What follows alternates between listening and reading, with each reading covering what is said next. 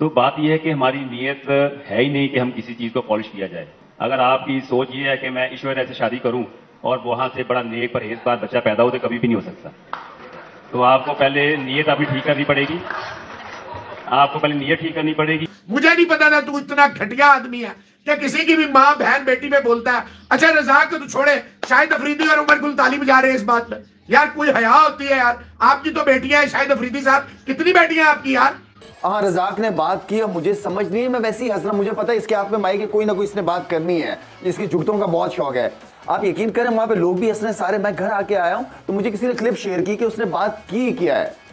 तो जब मैंने गौर से सुना कि रजाक ने तो ये कहा था मैं वैसे ही हंसने लग गया था स्टेज पे। तो मुझे बड़ा वो अजीब सा लगा कि यार कम ऑन यार इसी अभी रजाक को बल्कि मैसेज भी करूँगा कि सॉरी ऐश्वर्या राय के बारे में यार तू पाकिस्तान का एक्स कैरेक्टर है यार। एक्स कैरेक्टर हो तुम लोग कहाँ से पढ़े हो? ये क्या सोच है? ये क्या जाहलियत है यार? अगर अब्दुल रजाक के फादर अब्दुल रजाक के बारे में अच्छी उम्मीद लगाते तो आज अब्दुल रजाक की शक्ल में ऐसा नमूना पाकिस्तान लोगों के सामने नहीं आना था। सबकी इज्जतें साझी है ना यार। नहीं और एक एक फीमेल का नाम लेकर कभी भी ऐसी कोई बात नहीं होनी चाहिए एंड रिकग्नाइजेबल फीमेल सो बिल्कुल भी ये बात नहीं होनी चाहिए। दूसरे मुल्क की हीरोइन को नाम यूज़ करके क्रिटिसाइज कर रहे हैं और उनका जैसे कहते हैं ना, तोहीन कर रहे हैं। बच्चन फैमिली की तोहीन कर रहे हैं। क्या मजबूरी हो सकती है औरत की? ये तुझे पता है, तेरी माँ भी एक औरत है, तेरी बहन भी एक औरत है, तेरी बीवी भी एक औरत है। और अल्लाह ना करे तेरे घर बैठी हुई हो, वो भी एक औरत ही है। लानत है तेरी सोच पे लानत है तेरे किरदार पे लानत है तेरी पैदाइश पे। यार कुछ शर्म कर। यूसुफ वो ऐसा है ना कि जब आप कर जाते हैं तो आप रियलाइज़ कर रजाक ने बात की और मुझे समझ नहीं है मैं वैसे ही हंसना मुझे पता है इसके हाथ में माइक है कोई ना कोई इसने बात करनी है। इसकी जुगतों का बहुत शौक है। आप यकीन करें वहाँ पे लोग भी हंस रहे हैं सारे मैं घर आके आया हूँ तो मुझे किसी ने क्लिप शेयर की कि उसने बात की किया है? तो जब मैंने गौर से सुना कि रजाक ने तो ये कहा था मैं वैसे ही हंसने लग गया था स्टेज पे। तो मुझे बड़ा वो अजीब सा लगा कि यार कम ऑन यार इसी अभी रजाक को बल्कि मैसेज भी करूँगा कि सॉरी करे सबसे। वो नहीं। बड़ा गलत मज़ाक था वो इस तरह का मज़ाक नहीं होना चाहिए बिल्कुल भी। नहीं, अच्छा क्योंकि वो शायद हमने वैसे सुना है हाँ। वाकई बात सही बात है। आई थिंक ये होना नहीं चाहिए ऐसे क्योंकि हमारे सारे कोई भी लोग। हैं किसी भी मुल्क से ताल्लुक हो वो हमारे सब हम सब सबकी इज़्ज़त साझी है ना यार। नहीं और एक एक फीमेल का नाम लेकर कभी भी ऐसी कोई बात नहीं होनी चाहिए एंड रिकग्नाइजेबल फीमेल सो बिल्कुल भी ये बात नहीं होनी चाहिए। मे बी मेरा ख्याल से सबको इस बात को कंडेम करना चाहिए and it is not in a healthy way Not ये अच्छा अच्छी बात नहीं मैंने तो बहुत गौर से सुना बाद में क्लिप आया बिल्कुल संजय को है, गौर से सुना बहुत कह रहे हैं, बड़ा ऐसी बात किसी को भी नहीं करनी चाहिए। ये राइट नहीं है किसी को भी। लेकिन फ्लो में स्पीड में इससे गुजरा के आई गेस आई आसपास थिंक आई को समझ थिंक नहीं तो एक रजा की सॉरी कर ले उसके बाद उस पर बैन लगा दे मैं बोलना नहीं तुम्हें। ये हो सकता है? ऐसा नहीं हो सकता। नहीं नहीं मेरा मतलब है को चुप नहीं करवा सकते। कोई स्टेटमेंट ज़्यादा नहीं देनी हाँ, बाकी नॉर्मल हाँ। लाइफ में बोले। इसमें मेरा ख्याल उसको हाँ, नहीं नहीं वो जो है ना वो तो वो तो कर जाता है कहीं ना कहीं कर जाता है वो बस। तो इसका मतलब रोकना पड़ेगा लेकिन हाँ नहीं नहीं वो वो वाकई वो वो ऐसा है ना यूसुफ वो ऐसा है ना कि जब आप कर जाते हैं तो आप रियलाइज़ कर लेते हैं बाद में कि गलती भी है। वो नहीं करता। यार मैं हैरान हूँ किस घटिया मिट्टी की पैदावार है। क्या इसको एक औरत ने जन्म नहीं दिया? बार बार बार बार बार बार और इसको चैनल पे ऐसे बिठाते हैं टीआरपी के लिए। जाहिल नाख्वानदा इलिटरेट क्रिकेट में भी इलिटरेट ज़िंदगी में भी इलिटरेट और एज अ पर्सन भी एक इंतहाई जाहिल आदमी, धरती में बोझ है, जिसका नाम है अब्दुल रजाक। कोई शर्म, कोई हया नहीं इसमें।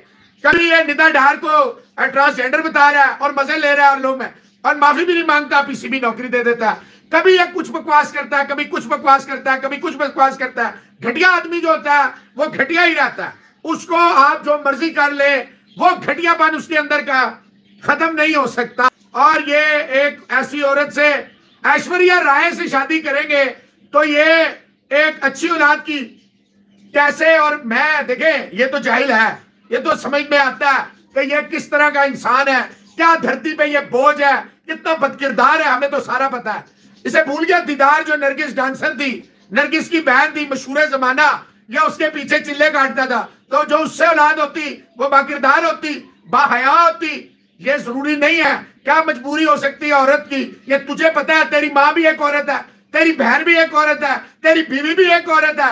और अल्लाह ना करे तेरे घर बैठी हुई हो, वो भी एक औरत ही है। लानत है तेरी सोच पे, लानत है तेरे किरदार पे, लानत है तेरी पैदाइश पे।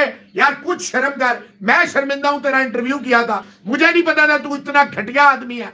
कि किसी की भी माँ, बहन, बेटी में बोलता है अच्छा रजाक को तू छोड़े शाहिद अफरीदी और उमर गुल ताली बजा रहे हैं इस बात में। यार, कोई हया होती है यार? आपकी तो बेटियाँ हैं अफरीदी साहब। कितनी बेटियाँ आपकी यार? मैं इस तरह की बात पे आप ताली बजा रहे हैं। क्या वह मौजूद है? क्या ऐश्वर्या राय को आपने देखा है कोई गलत काम करते? और अगर देखा तो फिर बताए। तो ये तो ऊपर वाला हमारे इतने पर्दे रखता है। आपको शर्म नहीं आई? आप ताली बजा रहे हैं। वो उसने कोई अच्छी बात की है? हमारे माए बहने बच्चियाँ जो है, वो सात पर्दों में हो। वो खिलाफ से पैदा हुई है। दूसरे की माँ बहन को टारगेट करना उनका। अबे बदकिरदार आदमी, बदबख्त आदमी। तू क्या दे यार गलत। अबे मिसाल क्या दे रहा है तू? औरत को तू डिग्रेड कर रहा है। तो तेरी माँ ने भी तो तुझे पैदा किया था। अब तू भी अपना डीएनए दिखाएगा लोगों को। माँ पे अपनी क्वेश्चन करेगा। क्योंकि लोग तो कहेंगे, घटिया माँ की पैदाइश है जो ऐसी, कभी कुछ कभी कुछ। वो दीदार जो थी, वो क्या? धुल के आई थी? है? उसके बारे में क्या कहेगा? अगर उससे तेरी औलाद होती तो बाकिरदार होती। पाकिस्तान के एक्स करेक्टर से गिन आने लगी है, बदबू आने लगी है, इतने बदनस्ल बदकिरदार, बहरत किस्म के ये लोग हैं। मतलब अफसोस होता है मुझे। अब आप देखो अब्दुल रजाक मतलब इतनी बहरत तरीन बात, इतनी घटिया तरीन बात ऐश्वर्या राय के बारे में। यार, तू पाकिस्तान का एक्स करेक्टर है यार। एक्स करेक्टर हो, तुम लोग कहाँ से पढ़े हो? ये क्या सोच है? ये क्या जाहलियत है यार? अब दुनिया को देखो मतलब दुनिया कहाँ से, कहाँ पहुँच गई है? और हमारे पाकिस्तान के कुछ एक्स करेक्टर पस्ती की, जालियत की नीचे से नीचे जाते जा रहे हो। मतलब इतनी घटिया, तरीन बात यार, आप कैसे कर सकते हो यार? आपको अपनी माँ, बहन, बेटी का पता है कि आप किसी के बारे में इस तरह की बकवास कर रहे हो, और जब वो बकवास कर रहा है साथ शाहिद अफरीदी तालियाँ बजा रहा है, उमर गुल तालियाँ बजा रहा है। यार, आपसे तो ये एक्सपेक्टेशन नहीं थी यार। और ये इस हमाम में सारे ही नंगे हैं। पाकिस्तान के एक्स करेक्टर क्या फ्रस्ट्रेशन है, क्या बहरती है, क्या ड्रामेबाजी अफसोस होता है मुझे। अब्दुल रजाक का पहले भी ऐसा ही है अब्दुल रजाक मैं आपको बताता हूँ, ये अब नेता डार है पाकिस्तान की, जो वुमेन क्रिकेटर है। उसको ये कहते हैं कि जी, तुम्हारे हार्ट ट्रांसजेंडर जैसे या तुम्हारे बाल ट्रांसजेंडर जैसे अब आप इमेजिन करो ये लेवल है इसकी एजुकेशन का। वुमेन कैरेक्टर को उसके मुँह पे कहता है और पीसीबी ने कोई एक्शन नहीं लिया। पाकिस्तान की आवाम जागी नहीं है। पाकिस्तान का मीडिया जागा नहीं है, क्योंकि जाहलियत भरी हुई है ना।